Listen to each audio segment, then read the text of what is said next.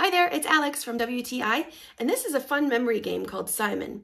Now this is the micro series version because as you can see, it is so tiny and cute and compact. Great for tiny hands as well. The whole point of the game is to try to repeat exactly what Simon just did. And the sequences get harder and harder as you go along. So that's the tricky part. The great part the, this game is that you can play by yourself or you can play with a friend. So I have a terrible short-term memory, so this game is perfect to help work on my memory skills. So I'm going to play solo. So we press blue, so I got to press blue. Two blues. Two blues and a green. Ooh, next level. Oh, I gotta press two at the same time now.